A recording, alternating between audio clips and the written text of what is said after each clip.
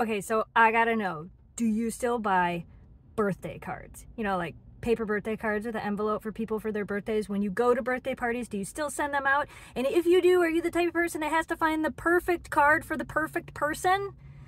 I still buy birthday cards. And let me preface this by saying it is my nephew's sixth birthday. So I just went in and I found him what I think is going to be the perfect birthday card for a six year old. Let me show it to you and uh, you tell me, what do you think? Is it perfect or not?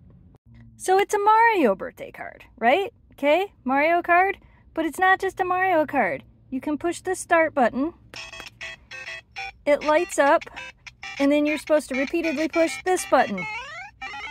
Oh, we got a mushroom. Oh, we got a star. We got a coin. Perfect birthday card. And if you wait